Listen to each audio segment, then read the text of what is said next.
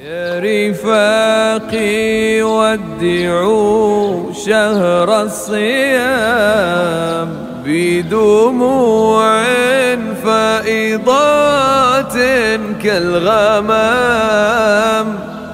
واسألوا الله قبولا في الختام ومنال الخير مع نيل المرام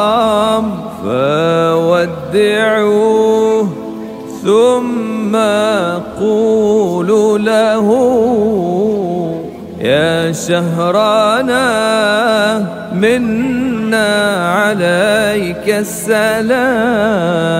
فودعوه ثم قولوا له يا شهرنا